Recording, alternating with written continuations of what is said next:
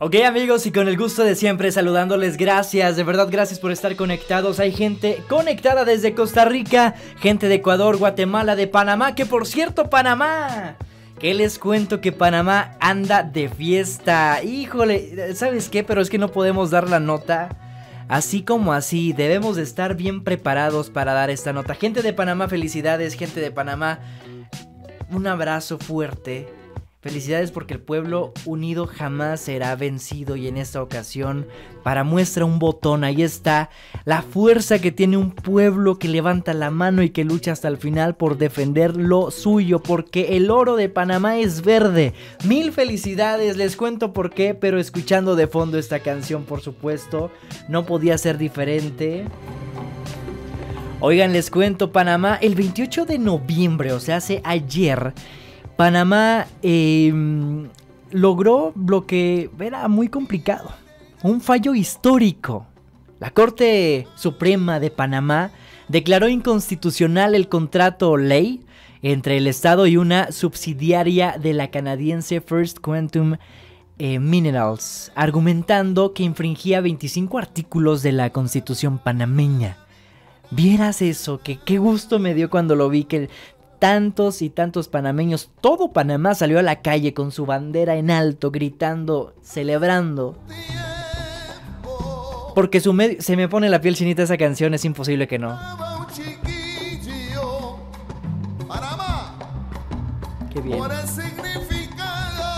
Amigos, y es que les estoy dando contexto a la gente que está conectada en este momento, contexto porque estoy tan feliz ahora, porque estamos celebrando mis carnales de Panamá, pues esta, esta, este logro, este fallo histórico. El contrato ley otorgaba, fíjense bien, ¿eh? otorgaba a la minera el derecho de extraer y comercializar cobre por 20 años, prorrogable por otros 20 en una extensa zona boscosa. La empresa que había iniciado sus exportaciones en 2019 reportó exportaciones por 2.8 millones de dólares.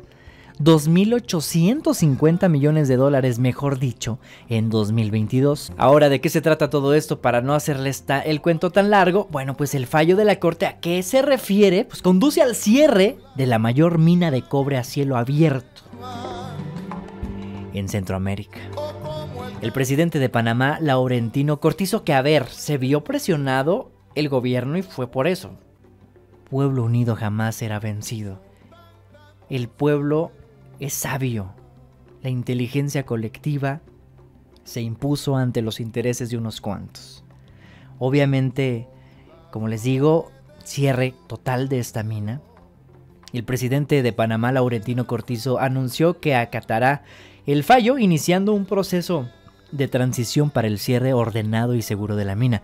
Que a ver, también hay que mencionarlo, este, eh, la empresa minera eh, tiene toda la opción de, promover reclamos, de criticar y de, Va a haber consecuencias, evidentemente, pero el gobierno panameño tiene que hacer todo lo posible para sustentar esta decisión tan positiva para el pueblo panameño, por supuesto. El impacto general, eh, laboralmente hablando, va a ser fuerte también, hay que decirlo.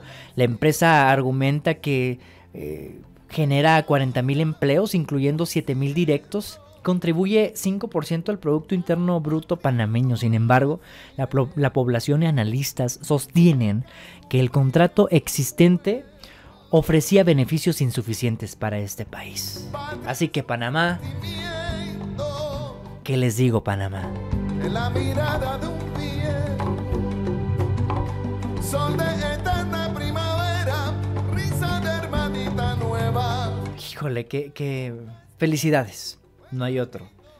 Felicidades, enhorabuena. Que Dios me los bendiga. A celebrar. Y qué curioso. El 28, fíjense bien amigos de Costa Rica, de México, Guatemala y demás países. El 28 de noviembre, si no mal recuerdo, vamos a investigarlo por acá, es un día histórico para ellos.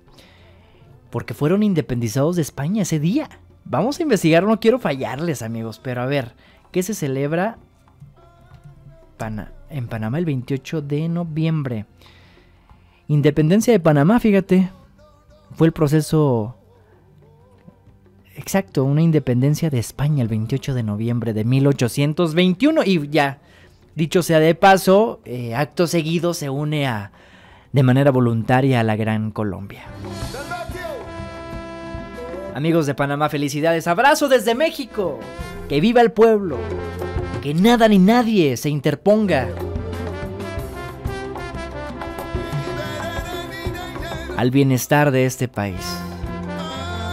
Arriba Latinoamérica, señores. Un logro más. Me da mucho gusto porque cubrimos la nota desde el día 1. Vaya, cubrir es mucho decir, pero mínimo me informé y me, me podía mucho que este pueblo estuviera atravesando por esto. Por supuesto, mis hermanos, que vamos a escuchar el comunicado oficial por parte del de, eh, presidente de la República, eh, lo, que yo, lo que yo creo, ¿verdad? Que es, es, presidente, tiene que ser el presidente, ese carnal, ¿no? Vamos a ver, vamos a ver el video del comunicado oficial. Pueblo panameño, en reiteradas ocasiones he expresado mi convicción que la justicia es la columna vertebral de la democracia. Sí, señor. Tan pronto se reciba la comunicación formal del fallo. Sí, es el presidente. Que declara inconstitucional la ley 406 por parte de la Corte Suprema de Justicia, se procederá de inmediato a su publicación en la Gaceta Oficial y se iniciará el proceso de transición para un cierre ordenado a huevo. y seguro de la mina. A huevo, así era, papi. Bien, cabrón. Del proceso de cierre. Hijo de su madre, qué chingón, güey. Qué chingona noticia. Tres semanas, ah no, perdón, tras semanas de protestas, el Tribunal Supremo de Panamá declaró inconstitucional.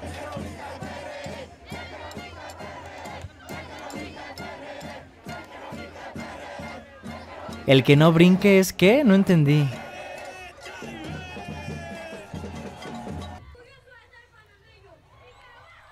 Y un niño, mae, un niño diciendo eso, qué bonito.